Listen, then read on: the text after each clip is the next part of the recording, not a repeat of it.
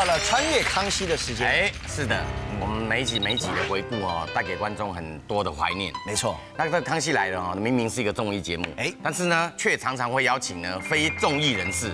只要你是名人，就会邀请你上台，所以呢也很多火花啦。啊，我记得好几次访问主播啊，哎呦对，访问这个政治人物啊，嗯啊都相当轰动，相当受欢迎。因为这是特别好玩的，因为主播跟政治人物他们会有一些美感，对对，他们会有一些形象的一个考量。尤其遇到这个康永哥跟小 S，对，一般艺人都无法招架的，对，更何况是这些 对对。但是呢。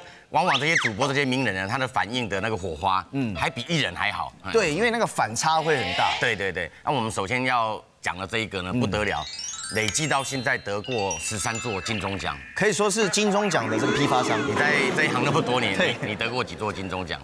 呃，到目前为止呢。个人的话没有。啊，你没有得过，没有得过。我怎么一直觉得你像是得过很多座？我常常去参与的，嗯，常常去参与。那以前是跟那个大闷锅嘛，嗯，然后那时候是节目入围，嗯，然后我们去一起去参与，然后后来是节目得奖嘛，节目得奖，但是你个人没有得过，个人还没有得过，我也没得过啊，但是我得过一座比金钟奖还更有价值的奖，哦，就是康熙十二年的终极通告。王，哇。得了这一座，其他的奖项都是多余的。对，得了这一座等于得了全部的奖。我我那个那个讲座现在放在家里面，啊，放在神桌上面。哎呦，啊，对，供起来，供起来，对，那是给我的一个至高无上的肯定。嗯，而且那一集呢，终极通告王那一集还用三百六十度的镜头去拍摄。对对对，大家可以上网去回顾一下。哎，没错没错。那这个沈春华沈姐，啊，我跟她有渊源啊，因为他们你也整过他？不是，他们他们家跟我家住得很近。所以呢，我们常常在我们家楼下的那个理发店呢遇到，然后他去做头发，啊，结果呢，他他人怎么样？他人亲切，很亲切，然后也很随和，而且也有在 follow 我。哎，他对我的，他该不会还会模仿你吧？他对我的很多事情，哎，厉害呀！他对我的很多事情都很熟悉，是真的啊。他在那边吹头发，然后我进来，沈姐好，你来了，不要硬接。有啦，我上次访问朱立伦啊，然后或者我得到通告网啊这些事情啊，都是他主动跟我提的。哎呦，他真的有在发喽？对对对对对。啊，他不得了，他那个那么多年来哈，不管是在主播里面来讲最受欢迎的啦，啊最具专业形象的啦，啊观众偏好度最高的啦，对，好，通通都是他。对，而且他每次这个播报完之后都会有一些话题，对对，像之前很红叫做里奥纳多皮卡丘，对对对，但 是大家也是很有印象。但是真正念法我也不太会念，真正念法是怎么念？就里奥纳多迪卡皮欧，哦。里奥纳多·迪卡皮欧，有的念成里奥纳多·迪卡普辛了，迪卡普辛，很多念法啦，所以这个有时候口误嘛，难免难免。那沈姐二零零四年有来过我们康熙来的，对，那一天呢火花十足，火花十足。我们来看看主播自毁形象篇。徐熙娣小姐得过几个金钟奖？嗯，没有，没有啊，没有，但有入围过，有入围过，有以我猜我猜我猜猜猜入围过金钟奖。后来呢？就没得啊。哦，对，嗯，我自己没有得过，我的节目得过而已。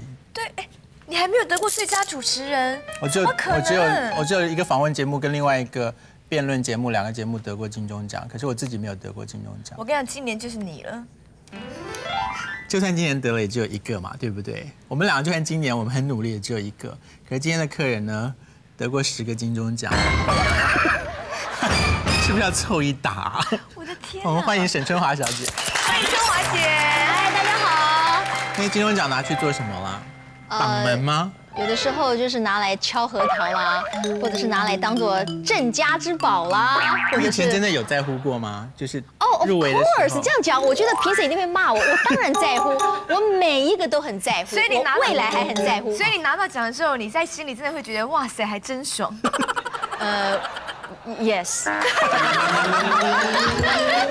你说姐妹到你家做客的时候，你会说，哎，你们看一下，这是我的十座金钟奖。对，也没什么了，不过是十一座，我要 correct 你们一下，是十一座。最近最近的一个也是新闻。呃，最近的一个，因为事实上那个时候已经呃最佳新闻节目主持人奖已经取消了，事实上在金钟奖里面已经没有这个奖项，所以我的最近的一个是最佳儿童节目主持人奖。哦，你你是不知道他连儿童节目都要拿？我知道，我知道，所以有儿童节目，还有新闻节目，还有以前有益智类节目，综艺节目主持人奖也被你拿走。你不知道我是你们的前辈吗？你以前你以前的综艺节目是强棒初级算强棒初初级应该算是益智节目，但是在之前还有一个叫我爱红娘，我爱红娘，红娘爱我，让我们牵起友谊的桥梁。你看过啊？好，我们是同一个世代的，感谢各位。我看过，而且我还上过强棒初级嘞。我也上过我爱红，真的吗？你上过强棒初级？对啊，以前我跟 S，我跟我姐啊。先说明一下那个节目形态是。是一个益智益智形态，对对对，我跟盛如如大哥我们一起主持的。然后没有规定参赛者的智商要有最低的水准吗？你这个话的意思是说，要一个门槛。那是我我是过了还是没过？基本上我们是没有门槛，开放给一般大众。这就是为什么小 S 也出现在。那个几岁？然后你放了一件，一件，这一件我记下来，我跟你讲。今年几岁？才十十四，哎，没有十六岁，那时候出唱片，啊，是为了为了宣传才去，对，我还并不是以老百姓的身份，不是，我们是跟豹小子同一集，然后我们跟 S S 是一桌，然后豹小子是一桌这样子，就搭的怎么样？我完完全忘了耶。长棒初级那长棒初级那时候大概多多久？多久之前啊？不是做了多久？哦。呃，我做了大概也有两三年嘛。那之后，因为我就出国去念书了，所以我就交棒给下一任的主持人。可是你的第一个节目其实是新武器大关。哎，你说的真是对极了。我第一个节目叫做新武器大观。哎，书上有几个人还记得这个节目？我没看过哎。我记得，因为好像那时候搭档主持人是黑幼龙，对不对？你知道黑幼龙这个，就是他是后来做卡内基训练的。对，黑幼龙哎，常常出现在我的人生当中哎。可是就是黑幼龙，黑幼龙。你到底是做什么呢？为什么黑幼龙会出现在你人生当中？午夜梦回小 S 常常有一个问题怕爆，就说黑幼龙，黑幼龙，你到底是做什么的？因为黑幼龙的名字很红啊，可是你要把它跟蓝正龙搞错吧？没有啦，可是你就会觉得，哎，他的到底是在干嘛？他以前是以军事专家身份，对，没有错，他是以军事专家的身份跟我一起主持了一个。我为什么一直以为你你第一个节目是儿童节目？不是。其实应该是新武器大关。那之后我做了新武器大关以后，那台视觉得哎我很适合做儿童节目，所以我就开始去做快乐小天使。为什么做完新武器大关，他们会发现你很适合做儿童节目？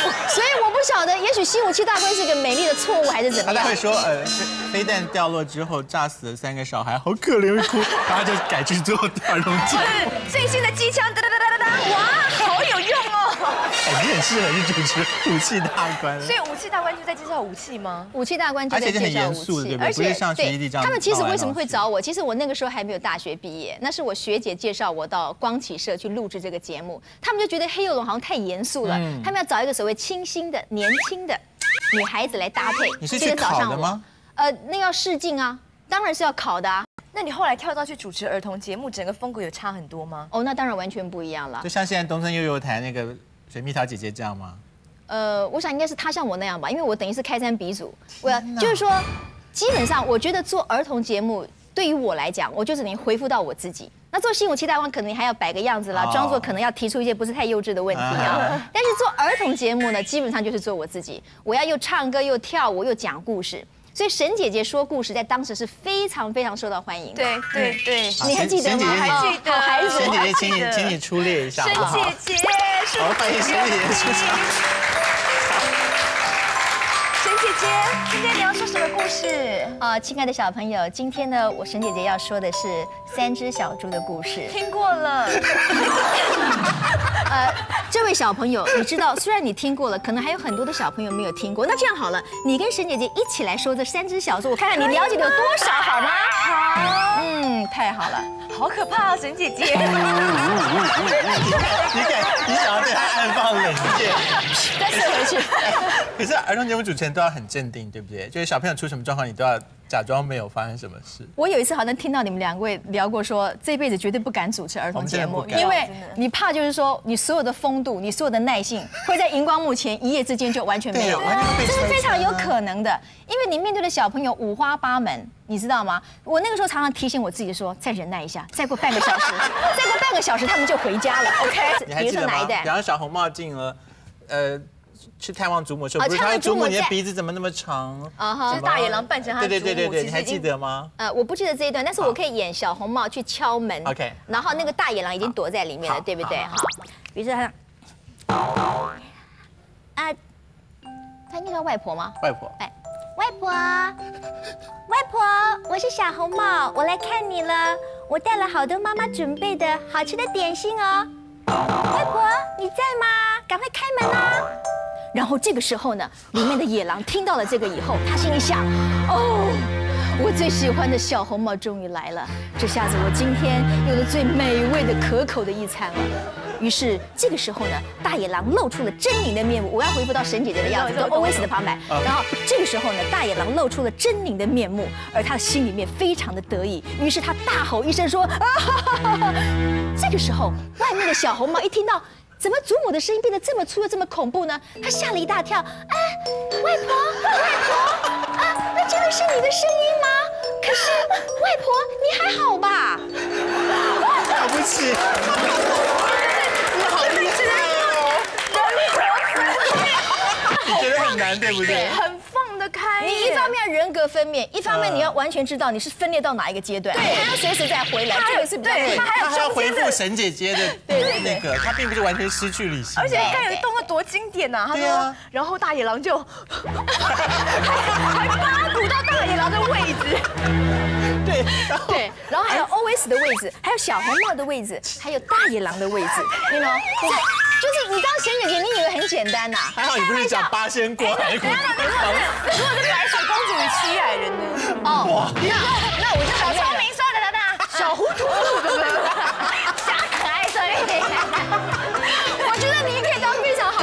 主持人，只要你呢不要随时发 发脾气就好。春华姐讲真的，我没办法想象你撒娇的模样哎。是啊，因为你实在太权威了。是哦，那。那我觉得你们对我误会太深了。我觉得全台湾的民众都是这样觉得。是，因为你主持的节目就算是综艺类型的，也很也很智慧，很知性，很智慧，很知性，对不对？对你从来没有说是做那种很耍宝。但是我是会撒娇的，请你相信我。你是你是哪只要在对的人、对的 moment、对的气氛，那我自然就会撒娇。哪一种类型的？会会叫他买一个东西给你吗？叫谁买东西给我？先生啊。哦，嗯，这个。如果用讲的，那就没什么味道了。那怎么办？通常应该你要让他知道，在什么时候他就应该要送你一个什么礼物，这是一个最高的。你会暗示说结婚十周年快到了这种？呃，我觉得这我不需要暗示，哎，基本上我先生他应该算是一个蛮浪漫的人。他都记得。他他当然生日也记得。当然，我生日他不记得，那我看大家也别混了。他会不会送那种很扫兴的，像电脑啊，或者是微波炉这种？不会不会不会。不会，你怎么想到吸尘器？他送些什么？都送妈妈那种那家电用品，就一副唯恐妈妈做家事还做的不够的。对，他会送钻戒那类的吗？呃，他会送感觉上比较 sweet。我想他很喜欢送花了，各种不同的花。棒哦！我觉得花很多女女人都很难抗拒。是啊，如果比如说老公真的就比如说在你生日的时候送你一大束花，然后说春花，我真的我爱你，那你会怎么跟他回应啊？他不会这样跟我讲哎，他也不会叫我春华，他都会写卡片。他都叫你什么？主播。还在玩游戏。在床上叫主播。你回来他叫一个很亲密的，但是我不太好意思宣布了，我们保保留一点。不是宝宝，不是宝宝。宝贝。也不是宝贝。小宝。也不是。No No No。花花。嗲嗲。小公主。小甜心。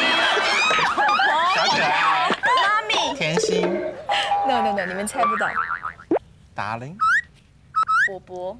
你们一定要一直猜到对为止。对啊，我们是一个，我们是一个非常，我们是一个非常固执的节目。没有要走知性跟智慧。我们常常就为了一个小节过不去，就是是是，嗯，好，从头，所以都没有猜中啊，都没有猜中啊。你你人生经验比较多。小狗、小猪、弟弟、迪宝。好了，我我我我透露了，我为了赶快让这一段告一个段落，OK？导播比我们着急了，而且你们再这样子混下去，这个节目就没没得看了。我们不是现场直播。我我我讲英文拼音，你们自己念就好了。M E I M E I，M E I，妹妹，妹妹，妹妹。哎，哇！但是他不用叫，他们写的。这个我跟你讲，这个很可疑。我跟你讲，因为男生怕叫错，所以一律都叫妹妹。喝醉的时候就妹妹妹妹这样，都不会都不会穿帮。那可能是蔡康永爱的呢，我不知道。对，所以他会说妹妹我爱你吗？还是说妹妹？那你叫他哥哥吗？爱主播叫他哥哥会不会？他叫你妹妹，你为什么不能叫他哥哥？不然应该回叫什么？你想看，谢谢您收看今天的晚间新闻。哥哥，赶快说哥哥，我说哥哥，完蛋了！我觉得，哎，我这样子，哥哥刚刚美国进攻伊拉克，会不会破坏我的新闻专业形象。不会不会，你的专业形象有点太强烈了。对，所以你今天一定要把它摧毁一点。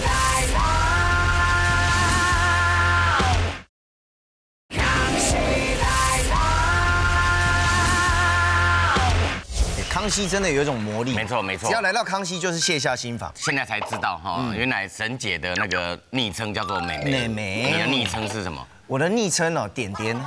喜欢看点点。那你呢，玲玲？我有昵称，哎，我老婆跟我感情好的时候叫我玲玲。玲玲，哎，很可爱。铃铛，铃铛，冰淇淋。对。那如果生气的吵架的时候叫我林病。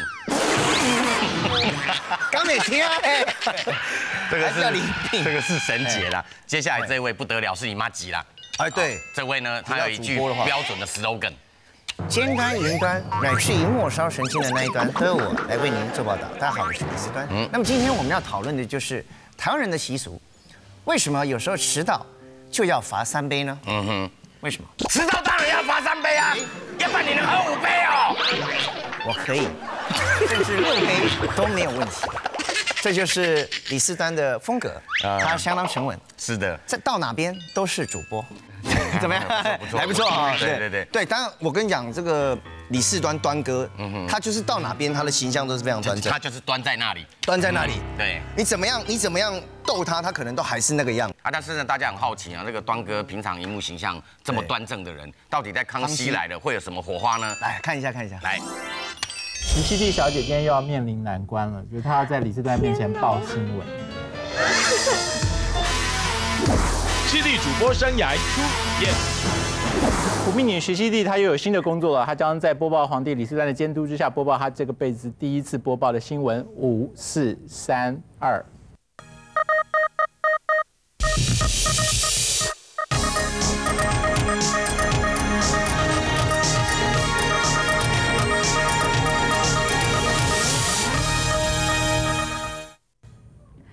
给大家介绍一则非常有趣的消费新闻。现在手机功能是越来越多元化了，除了可以拍照上网之外，竟然还可以测量出使用者是不是有口臭。德国一家非常知名的手机厂商呢，现在推出了一款手机，如果使用者本身有口臭的话，手机竟然会发出哔哔哔的声音，是非常的贴心的。不过也让人想起来，如果使用者去手机的店里面说我要买一只可以测量我有没有口臭的手机，是不是也令人分外的尴尬呢？我们来看一下这个新闻。怎么样？怎么样？怎么样？出 这么油腔滑调的模仿方法？就是模仿啊，主播都嘛这样。为什么垫肩那么大？主播都嘛垫肩大，才霸气啊！而且主播一定要你知道斜一边，然后一直扭头。现在这个新闻，小狗也会数数字。怎样都要你知道斜斜的看那个镜头？是这样没错吧？是的，刚刚这个怎么？我我没有看到你正面，不过光从侧面看哦，你如果经常这样抱下去，总有一天的下巴会脱臼。就 是你这凹的太大，脑的太多了，是不是？太太丰富了，情感太丰富会把观众吓坏了。嗯，哎，就是情感太多了，太夸张的丰富了。他刚刚太情绪化，是不是？就太放太多感情进去，所以要再冷冷酷一点吗？太夸张了，你可不可以用一点冷酷的样子？你的喜悦感。太夸张！你怎么又转过去了？没有，我要有那种，还有四三了。好的，哎，等一下，我要我要把四单放回他的座位去，这样他可以看到。哎，我没有办法连线。好啊，好啊。四单，你回你的，我坐那边，你回王座去，这样你你要说接下来我们欢迎那个小 S 为我们介绍一些消费新闻。好。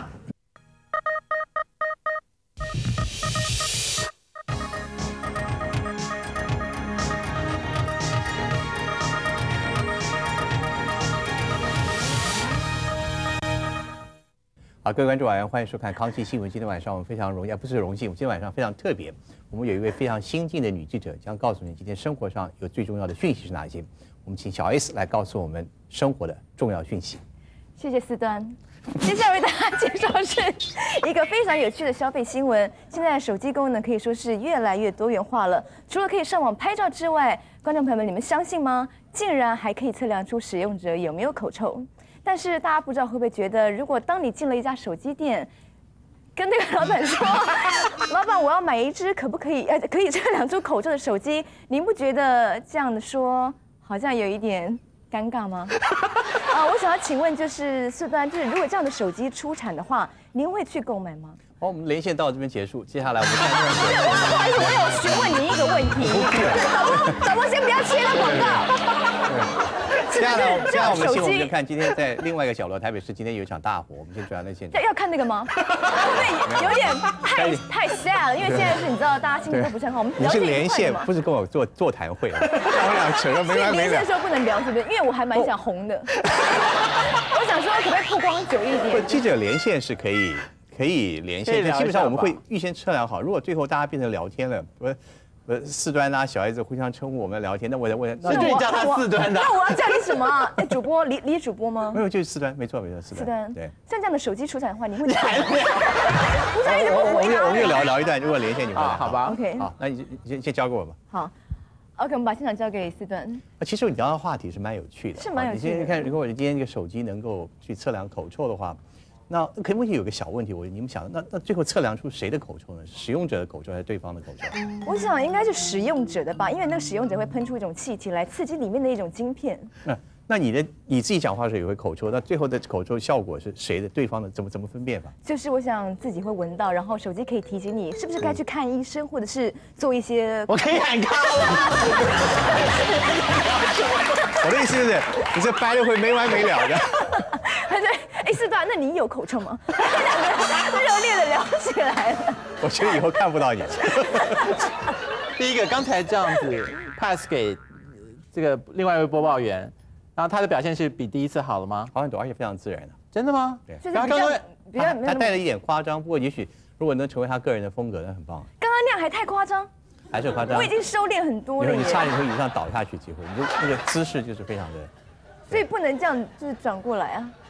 哎，拜托张雅琴，这嘛，你知道有你你你要忘了一件，你你已经有职业化的味道了，所以你的一举投足投足，你都会很美化自己。你已经有江湖气了，对。所以你觉得应该要再更自然，是不是？你已经恢复不到自然了，不可能的，你已经失去天真了。手机我跟你讲可以拍照，你知道还可以测口臭，怎么样？想不想买一支？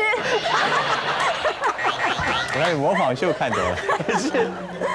除了那个之外，他刚刚眼神一直犹豫不定，对不对？因为你不没有，因为我一直以为他要跳机啊。你很想学张雅琴这样子来一个大转身，就是那样转身多有霸气啊！结果一直没有人给你转，对，都不转，什么意思嘛？可是，他这个那个是你是个很有个人风格那种播法，但我就说我们的。专业性、清纯度来讲的话，那你大概专业性绝对是百分之。风尘会很重，是不是？请会聊到精神，太牛了，是不是？太牛，就是你有你有你根本有面对镜头的经验太丰富了，第一看就看出来。OK。所说我们现在生涩的表情，大概你我我们都做不出来了。嗯。因为你看到镜头，基本上他他触发你自然的反应。那你觉得李涛会不会太夸张？李涛不会啊，他有夸张吗？还好吧。徐熙他现在 TVBS。我问你的事情干什么？那李涛不是更个人化？我们不下来对是对？那也没。我跟他讲了嘛，我跟他我跟他讲很简单。我刚刚第一遍跟他谈，就是你要塑造个人风格，你刚刚讲的都是对的。OK。如果你要个人风格，那都是。所以你面试他，他会中吗？不会。为什么？太职业化了，因为我觉得他当播报记者太可惜。把外套脱掉，露出里面那个来，这样就会上榜。露一肩。啊。但我真的劝你去别的地方考试。你知道现在手机功能真的是越来越多了，拍照呢，我都觉得好好玩哦。我朋友一直说想买一支，但是因为现在都缺货，对不对？其实新闻你买得到吗？新闻这新闻这档播出来很有趣。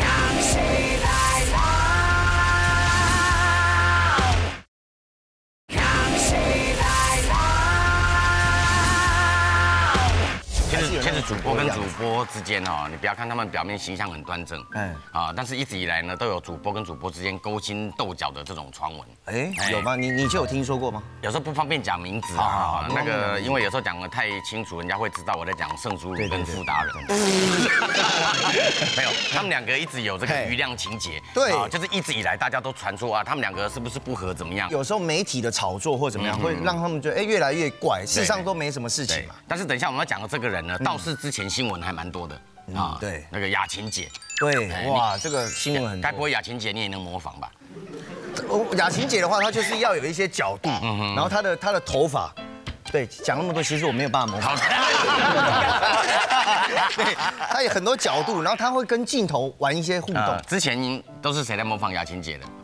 呃，好像是小优啦，小优比较多啊，其实是蛮不像的。对，蛮不像的。对啊，但雅琴姐有一点我很佩服，她英文很好。English 对，因为他能够用美式的英文呢，好，然后去跟人家 conversation 这样，可以直接口译就。我以前就是看到他的英文哦，大受震撼。我想说，一定也要英文学得像他这么好。嗯，所以我那时候就跟我老婆约好说，哎，我们为了学习这英文能力哈，从今天开始我们都讲英文。谁如果不讲英文的话呢，啊，那个谁就要惩罚，对，就要惩罚。对，后来从那天开始，连续一个礼拜我跟他没有讲过话。他等于也没练到嘛。不过那个雅琴姐相当有特色啦，相当有特色。这样的人在康熙。来了会有什么火花呢？来，张雅琴篇。康熙来了长期忍受二线女主持人徐丽丽的荼毒呢，终于换了一线女主持人张雅琴小姐跟我搭档。雅雅雅琴，你这个呃主持康熙来了之后哈，没有觉得？我觉得名字应该要改一下，要不然大家都虽然说广告客户大家都认康熙来了，但是这个熙跟我有好像比较没有面。康康康琴来了也可以。你 连名你连徐丽的名字都要干掉就对了。不是徐丽已经是呃，她已经是离开这个做家庭主妇两年，大家呢还是要知道非常非常的。我觉得说她这次是不是准备要复出了？我们今天的特别来宾，他要试试看，因为如果他今天上节目之后反应很不好的话。大家还就会把它送回家里面。哦，那我们看看徐熙娣到底有没有增胖变成，OK，面包超人呢？或什么？两年的时间，两年的时间不够做。如果是我的话，可能就这样。好，我们就就欢迎徐熙娣。好，我们欢迎徐熙娣进场了。来，小 S。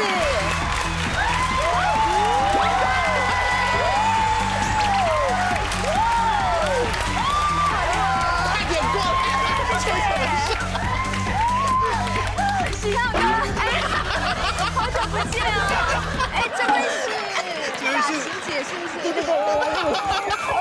知道这段时间。欢迎你来我们节目。不对，先欢迎你来我们。没有，因为毕竟这节目以前是我开创的一个那个天下嘛。欢迎你来了，还习惯吗？这一切？我觉得其实，其实我觉得你。你真的很厉害！没有没有，我抢了主人的风采了，不好我觉得你身材真的，你应该冲着你来宾。我我本来就是很诚恳的，我跟你讲。张雅琴想想看一下你的身材有没有改变？你觉得她当了两年家庭主妇，她反而更瘦了，反而更瘦。我真的很想要跟观众分享我的身材，可是。在雅琴姐面前秀身材会不一样。讲 真的吗？对，我觉得她的毅力真的很棒。像我们就是说没办法，不过还好康熙是着重我们的这个内涵嘛，要不然看外表我怎么样哪一样都比不上她。可是西弟，你知道张雅琴来康熙来之后呢？收视率下降很多，开场就要聊这个，没有太收视率，收视率好像还还不错吧？真的吗？嗯，但是没有，我想问你啦，你今天真好不容易我们敲了这么多次通告，你才愿意上。来，很多报纸最近都大幅的报道，就是说，因为我虽然不主持这个，但知名度还是在对啊，晋级私动，你是不是？有机会，我们再请你再回来这里，为大家来这个做个主持，或者说，因为我也很忙啊，中天新闻，我知道可以用他当一个就是外线记者。不是，你告诉我们第一手的内幕好了，你为什么要付出？你老公还好吧？我老公跟我非常相，我不知道他现在身体怎么样，很 长啊，肝啊，都很健康，我连肾也都肾也都很好。结了婚的男人，其实我们大家都知道要多多保养，要不然像我先生有时候觉得很操劳，他每天都接送小孩，他身体不好啊。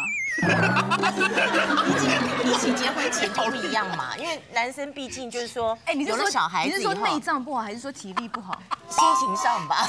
徐丽，你在家里有看张雅琴主持的《康熙来了》吗？你觉得怎么样？给个评价。啊，讲真的，我非常感谢雅琴姐呢，在这两年当中帮我代班，带住两年。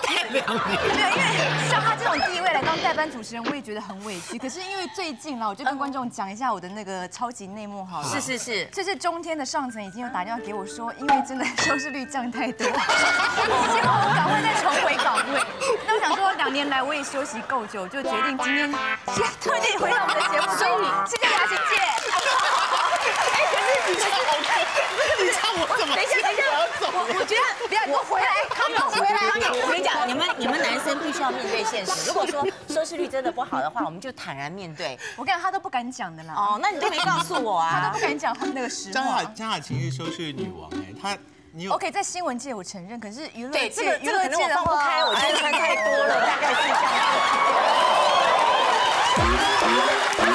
我我我。先上来。选，有有请你来啊，你选啊，选成低腰裤，你选成低腰裤。不要这样，我没有穿丝袜耶。你要谁？你要谁？每一台的取向不一样，但是最主要是说，因为。每一台他们对于主播的定位也不一样。那我觉得，如果可能是我的师长们觉得这里可以未来如果把收视率做，所以希望大家支持。如果收视率做到第一以后，也许有空间小小的一个节目，不用像康熙的时段，可能下午四点钟冷门，或者早上八点都可以，就让我那种时段你可以接受，可以可以啊，也不是配，也不是时段，因为 I want to do that，那是我的 dream。他想把我们挤到那个时。没有没有没有没有，哎，你们太狭隘了，真的是。又骂我们，又骂我们俩。雅琴姐讲真的，如果开一个早上八点，非常好。我因为我是我希望能够服务家庭主妇，所以如果有受家里受灾害的人来节目里面，他就是哭得很伤心的话，你能够面对这种状况？也可以啊，因为我是一个，我非常，我非常希望能够做这方。可是他如果哭到都一直不回答呢？你就让他哭，哭一哭再说。嗯，不会一直逼他。其实我觉得我们是充满了关怀。嗯，我就觉得，就是说台湾这个社会，就是说第一个，我觉得大家要追求快乐；第二个要付出了。嗯，就像你们节目做的这么好，钱收入这么多，你们应该要。有时候要做一些慈善，我们每个月捐很多耶，真的，我每个月捐很多，还领养三十个小孩。他其实还有管到我们的收入这件事，情管很管很管。哎，你你来中电之后，不会连我们的节目都要管吧？不会不会，我跟你讲，我只是主播，OK，主播。可是万一我们节目收视率被你发现有掉的话，你会不会跟上面的人讲什么？嗯，说实话吗？对，嗯。可能会反映说，要不要我试试看？是实话，因为会这样讲吗？我会，为什么不？而且我不会是很隐晦，我不去做那种。因为回到你刚刚讲说，为什么大家怕我？就是我很直接，所以换你试试看，我很直接的讲一些我的你试试看的话，意思就是我还在嘛，对不对？那我不知道我们俩合合起来合不合啊？也许 maybe 一个 totally 不一样。你要把我也干掉？你要你敢出去？是哪里得罪你了吗？我们俩哪里做不好事情？都没有话好说。当时有的时候有妆，有的时候没有化妆，哎。对，因为我下班回去就录的话就有妆，那有时候是早上有时间录的。所以你不怕你素颜出现在画面上？没有关系啊，我就是这样子啊。真的耶？真的啊。其实你不化妆还是跟现在差不多啊。对啊，你反正就是这样，观众要看你是看你的努力跟你的表现跟你的头脑，所以头大小啦。什么东西都不是很重要。因为如果要说到脸的 size，刚刚那个布洛格的脸很大，因为角度的关系。有啦有，难怪难怪我自己都觉得 OK。就有人就留言说：“雅琴姐，你知道摄影机要放远一点，否则脸会变形哦。”那我还在想说，我跟他们说他干嘛这样写？这些小美眉搞自拍的时候，他们都是有一个角度是可以让。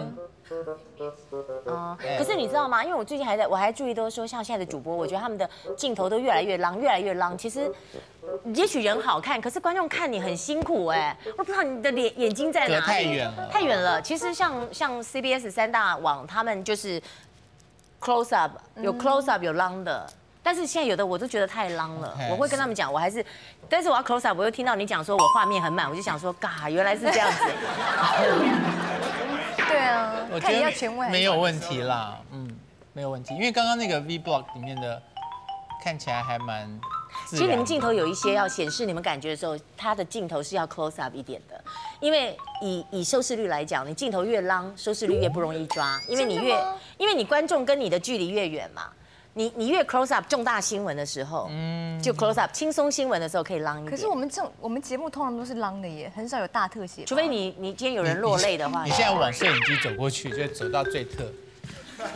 这样收视率越来越高吗？张勇，不是你不用收视率高吗？他走才是。这应该是偏方最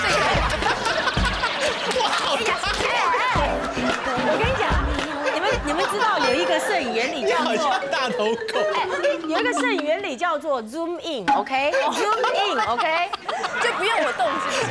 那你走过来，你走过来，不是他不用走，走开他 zoom in 就可以了。不是，如果我们这种节目那那么近，观众压力会不信不信你你给他 zoom in 一点看看，就会发现它很美啊。我再再来再来，是真的哦。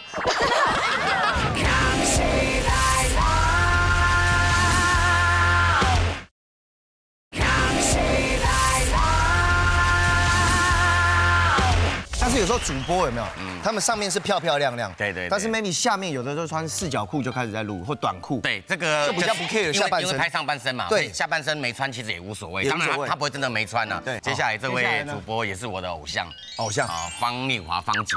哇啊，他所主持的看板人物呢，那个那一年有访问我。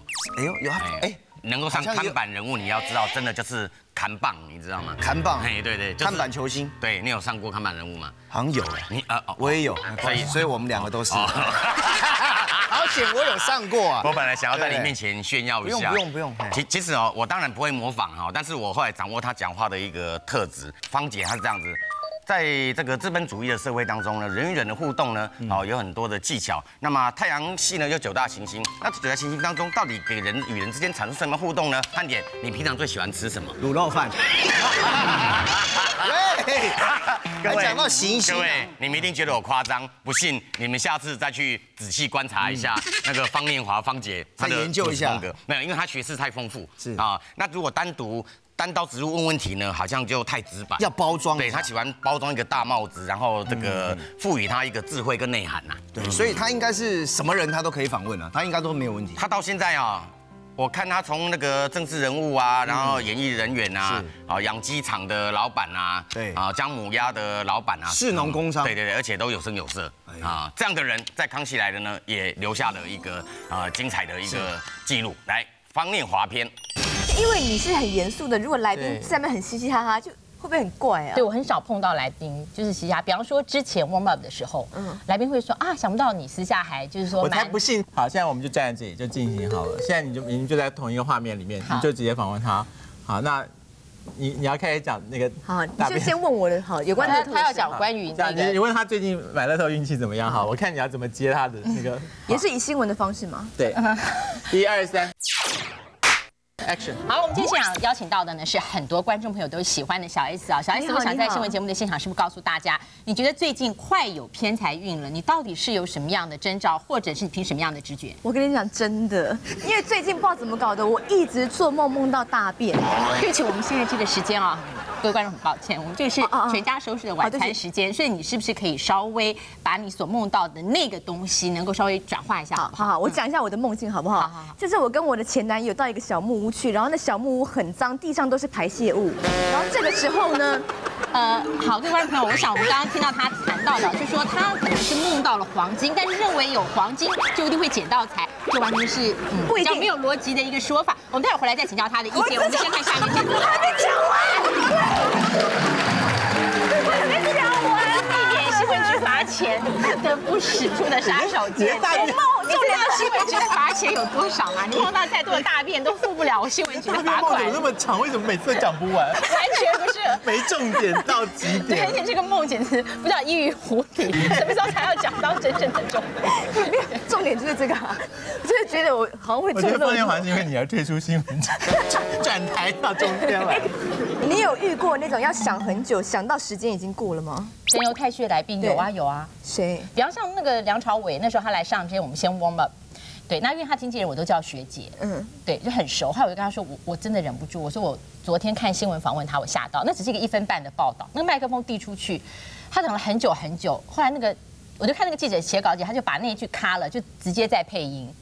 因为等他回答完，可能就已经一分三十秒。嗯，所以我冒的时候，我就忍不住，我就说梁朝伟，你为什么人家问你问题，你要停那么久？你是在想还是怎样？嗯，然后那时候我冒他又停下来想了很久。我嗯，然 后我真的想说，我说好，那我不管了。我说那待会儿访问的时候，你可不可以就是稍微打快点？因为不然我根本不知道你是拒绝回答，还是在想，还是要准备讲，那整个 tempo 就会乱掉。你有访问过王菲吗？没有，没有，没有。没有那么喜欢，他难度更高，找麻烦吧？哎，所以你是连私生活 tempo 都那么快吗？嗯，对。所以你受不了人家慢吞吞跟笨，对不对？我觉得他真的就是很准哎，对。对。可是第二个我都不好意思讲，因为大 S 也是这种人呐，他永远好像时间跟在跟时间赛跑。对。所以如果我们两个今天接受你访问，结果慢吞吞的话，你会怎么办？录影嘛，那就先走。假装我们，假装我们两个没得金庸奖，然后就想要去自杀，然后就被救起来。怎么做过这么大，这么悲情啊？那新闻点，要不然在哪里？好，所以我们现在是被打捞起来说。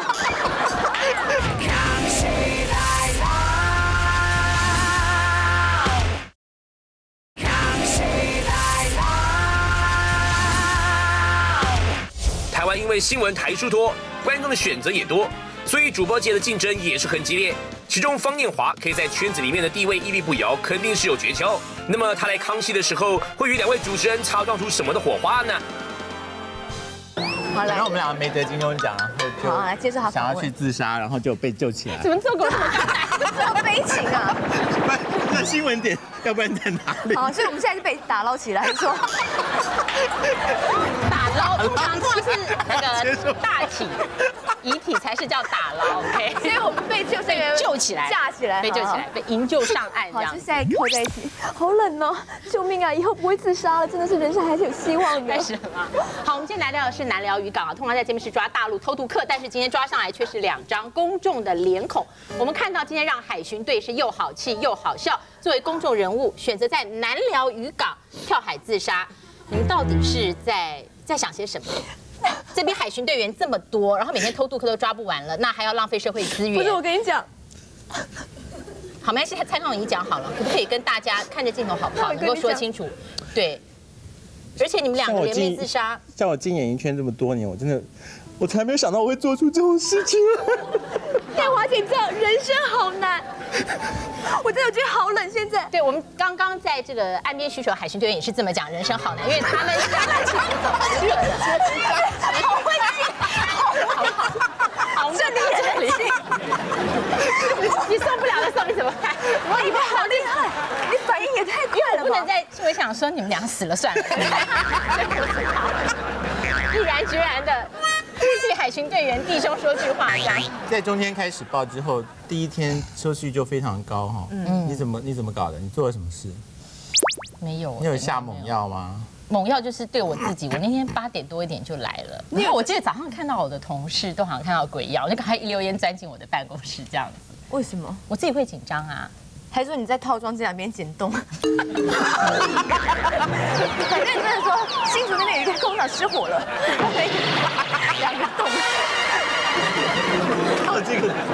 图收视率。有一天我会使出这个奇招，有一天我一定要锁定，对对？你要使就早一点，不要等到七十岁才使这一招。所以你的手下都怕你吗？你说团队啊？对。现在不会吧？现在中间团队应该不会吧？我说我来都可以当当那个亲善儿童了。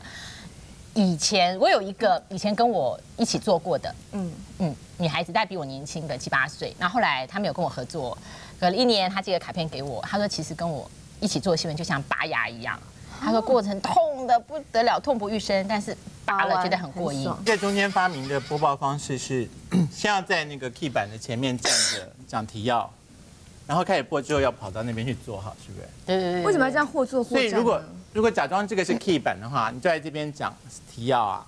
对，可是我还是站的很，就是我站的是很死的啊，因为主播的样子，就是我不会看 key 板，所以我没有办法那样比，像气象那样没办法。不能这样比，我我比不准。所以是什么样的新闻要站着？预告啦，或者说我要强调这个新闻，那可能让观众看新闻之前先看一下这个镜头，它可能新闻的镜头性很强，类似这一类的。所以你接下来播新闻的时候，你就要跑去那个。播报的位上坐好是这样吗？对啊，但是你肯定有时间的啦。对，可是这样站站坐坐，你不会觉得很累吗？这样 schedule 很满呢。还好，所以你没有为了这种事情而发脾气，说干嘛叫老娘又站又坐啊？想累死我啊！没有，我有一次自己就是设计框板啊，搞得这样。那天好像是年年终还是怎么的一个日子。对，那跟我做导播其实都蛮辛苦，因为我只要想到什么花样，我那天就一定要。一定要做出来。后来搞到我自己要站还是坐还是编怎么样，我都已经完全忘记了。嗯。后来我就听到副控有笑声，我就说：好好，导播，你今天整到我了。对，因为我就会停在中间，那大家也不敢提醒我说方杰是回去做，就是没有人敢讲。哦。害我在受不了，说到底下面是要坐还是站？其实那是我自己编的。就是我已经忘了自己整自己。对。所以你们主播坐姿跟站姿就有被规定的那么严格吗？就是我想没有。所以你们也可以这样报新闻吗？比如说东木铁塔着火了，来看一下。我我明天来试试看，好不好？就为什么一定要站那么挺呢？真的好，你还有想过哪些？比方说像这样干嘛？呃，半曲着身扶腿的，那还有呢？老兵中乐透了。还有大家要小心，台风可能要来喽。然后都表情还是认真的。我觉得中天已经开不行，他因为挖我觉得中天那个大楼的看板应该放他的，跟应该放他的照片。原来不少主播都是造访过康熙，并留下不少笑料。那么下集还会出现哪些非演艺圈的名人来访呢？穿越康熙，咱们下次见。